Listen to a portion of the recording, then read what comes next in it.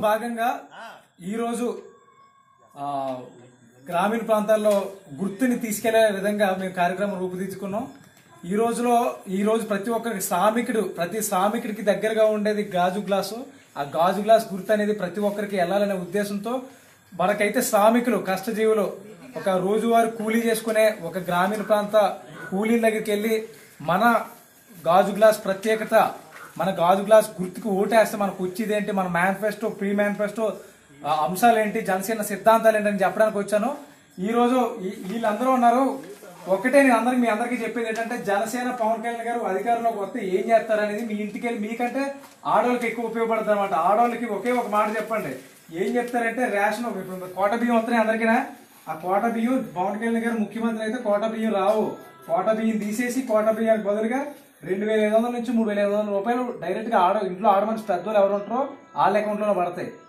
అంటే ఇప్పుడు కోట బియ్యం రావు. పవన్ కళ్యాణ్ గారు వస్తాయి మీ ఇంటి ఇంటికి వెళ్ళి ఆడమని చెప్పండి. రేషన్ కార్డులు ఎన్ని ఉంటాయి రేషన్ కార్డు ఎవ- ఎవ- ఇంటికి మీ రేషన్ కార్డు ఉంది. రేషన్ కార్డు మీ- ఇంట్లో ఐదుగురు ఉన్నారు. మీ ఐదుగురు అంటే మీ మీ పెద్దోళ్ళు అంటే ఆడవాళ్ళ పేరు మీద వస్తుంది. ఇంటికి పెద్ద ఎవరు ఆడవాళ్ళు. అలాగే కాదండి. ఓ ఫ్యామిలీ ఉంది. ఫ్యామిలీ ఫ్యామిలీ ఇడిపోయారు కదా. ఫ్యామిలీ రేషన్ కార్డు రేషన్ కూడా కార్డులోనే. ఒక మీరు అన్నది బాగానే ఉంది. ఒక రేషన్ కార్డుకి ఒక ఇంట్లో ఫ్యామిలీ అంటే ఒక ఫ్యామిలీ ఇద్దరు పిల్లలు నలుగురు నలుగురు. ఆ, కార్డుకి రైస్ వస్తాయా? ఆ- కార్డులోనే రైస్ అయ్యి రాకుండా ఆ, రాదండి రెండు వేల రూపాయలు. రెండు వేల ఐదు వందల రూపాయలు మీ ఆవిడ మీ ఆవిడైతే ఆవిడ పేరు మీద వస్తాయి. కార్డుకి. అలాగే ఏ కార్డులో ఆడ మనిషి పెద్దలు ఉంటారో ఆడ మనిషి పేర్ల మీద పడతాయి. ఏంటంటే ఇప్పుడు కోట బియ్యం వస్తున్నాయి. మనకి ఎంతకి ఎత్తున్నారు కేజీ రూపాయికి ఇస్తున్నారు.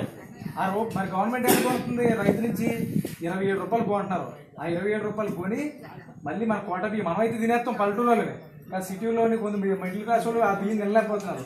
అవి మళ్ళీ తిరిగి పది రూపాయలకి తొమ్మిది రూపాయలకి అమ్మేసుకున్నారు ఇలా మొత్తం డబ్బులు మారిపోతున్నాయి. డబ్బులు అందరి చేతుల నుంచి మారిపోవడం వల్ల ఒక ఒక అక్రమాలకి తా- తావు తీసుకున్నారు కొన్ని కోట్ల రూపాయలు ఇలా విచ్చలవిడిగా ఖర్చు పెడేస్తున్నారు గవర్నమెంట్ అందుకని అవన్నీ తీసేసి డైరెక్ట్గా ఎవరైతే మీరు నీకు ఇరవై ఏడు రూపాయల చొప్పున లెక్కేసుకుంటే సబ్సిడీ అయి లేకుండా డైరెక్ట్గా ఎంత అయితే అమౌంట్ ఉందో ఆ అమౌంట్ మొత్తం ఆడ మనిషి పేరులో పడిపోతుంది కార్డు. కార్డులోని. అదే ఆడ మనిషికి మీ ఆడు ఆవిడ గారు ఉంటే ఆవిడ గారి పేరు మీద అకౌంట్లో డబ్బులు పడతాయి ప్రతి నెల గ్యాస్ బండ్ వస్తుంది ఫ్రీగా? అంటే ఇప్పుడు ఎన్నికలే ఇప్పుడు ఓట్లు వస్తున్నాయా రెండు మూడు నెలల్లోనే? ఓట్లు వచ్చినప్పుడు డబ్బులు అయ్యి ఎవరు ఇంకా. జనసేన పార్టీ నుంచి ఎవరి నుంచి ఉన్నా డబ్బులు ఎవరు కానీ డబ్బులు ఇస్తారు. టీడీపీ వాళ్ళు వైసీపీ వాళ్ళు కాంగ్రెస్ వాళ్ళు బీజేపీ వాళ్ళు ఇస్తారు డబ్బులు. ఆ డబ్బులన్నీ తీసుకొని మీకు ఎవరికి నచ్చితే కోటేయండి. కానీ డబ్బులు తీసుకున్నప్పుడు ఆలోచించండి. ఇలా రెండు వేలు ఇస్తున్నారు. అదే జనసేన పార్టీ వస్తే రెండు వేల ఐదు వందల నుంచి అంటే ప్రతి నెల రెండు వేల ఐదు వందలు ఇస్తే అలా ఐదు సంవత్సరాలు ఇస్తారు. ప్రతి నెల గ్యాస్ సిలిండర్ వస్తే ఐదు సంవత్సరాలు వస్తాయి.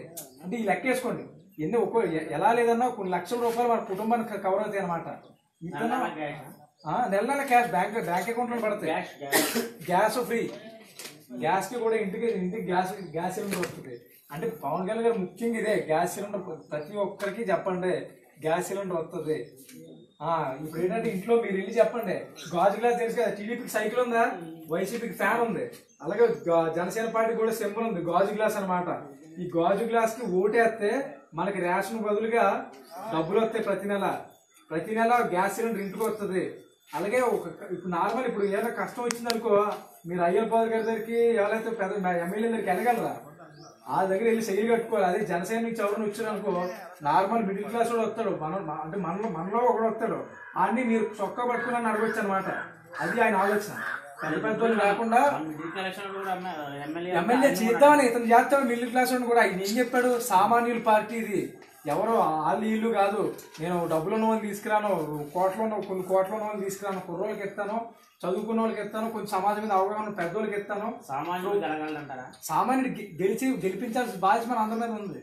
పవన్ కళ్యాణ్ గారి మీద నమ్మకం ఉంది. ఆయన చూసారా ఓ సినిమా చేస్తే నలభై యాభై కోట్లు వస్తుంది సంవత్సరానికి. ఒక సినిమా చేస్తే యాభై కోట్లు వస్తుంది.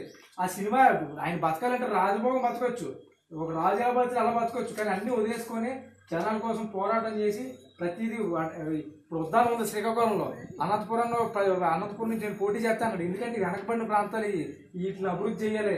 వీళ్ళని అభివృద్ధి చెందితేనే అందరూ అంటే మనం మనం అయితే వైజాగ్ విజయవాడ రాజమండ్రి తెలుసు కానీ అనంతపురం కరువే శ్రీకాకుళం కరువే కదా.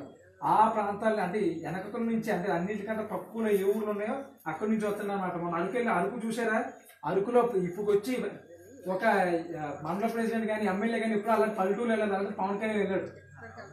అంటే పవన్ కళ్యాణ్ ఒక పవన్ కళ్యాణ్ ఒక నమ్మకం ఉంది జనాలకి. సరే మీరు అందరూ చెప్పండి ఒకటే. గ్లాస్ గుర్తు గ్లాస్ గుర్తు అని తెలుసు కదా? మన టీ తాగుతాం కదా టీ తాగుతాం కదా ఇప్పుడు. మరి సాయంత్రం వేసే టీ తాగుతాం. టీ కూడా దగ్గరికి వెళ్తే ఏమెత్తారు గాజు గ్లాస్ టీ ఇస్తారు ఆ గాజు గ్లాస్ గుర్తే మనదన్నమాట. గాజు గ్లాస్లో మీరు వాటర్ పోతే తెల్ల కనపడుతుంది. ఆయిల్ పోతే నల్ల కనపడుతుంది. పెట్రోల్ పోతే పసుపు రంగులో కనపడుతుంది. అలా ఏదైనా కనపడతా అంటే లోపల ఏదుందో మనకు తెలుస్తుంది. అలాగే పవన్ కళ్యాణ్ గారు కూడా ముఖ్యమంత్రి అయితే లోపల ఆయన ఏం చేస్తున్నారు ఆయన ఏం పరిపాలన చేస్తున్నారు అనేది అందరికి కనిపించేలాగా ఈ గుర్తు ఉందన్నమాట. సో అందుకే అందుకనే మీరు అందరూ ఒకటే గుర్తుపెట్టుకోండి గాజు గ్లాస్ గుర్తుకు ఓటేమని అందరికి చెప్పండి. డబ్బులు వస్తే ప్రతి నెల అని చెప్పండి. ఒక గ్యాస్ సిలిండర్ ఫ్రీగా వద్దని చెప్పండి. అంతేనా? జై జనసేన జై జై జనసేన. ఈ వీడియోపై మీ విలువైన కామెంట్స్ని మాతో షేర్ చేసుకోండి. అండ్ ఇంకో విషయం సబ్స్క్రైబ్ చేయడం మర్చిపోకండి.